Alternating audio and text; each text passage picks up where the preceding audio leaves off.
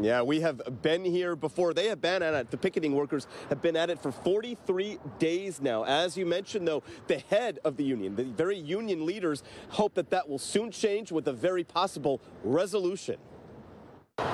Striking Boeing machinists will cast votes of a very different kind during election week, with the decision whether to stay on the picket lines or return to work.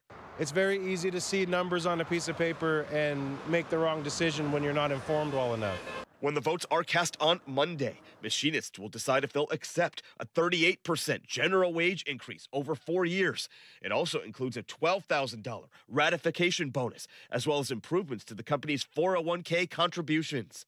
On the picket lines, newer employees like Brandon Story said they're still undecided. It is lucrative, more lucrative than it has been, but there's still room for improvement. Yet for that reason, veteran workers like Stort Whiting say their answer is already no.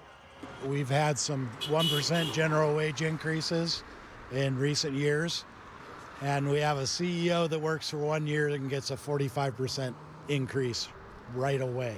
Despite that, union heads insist this could be the best that it gets, saying in part, quote, it is time for our members to lock in these gains and confidently declare victory. We believe asking members to stay on strike longer wouldn't be right.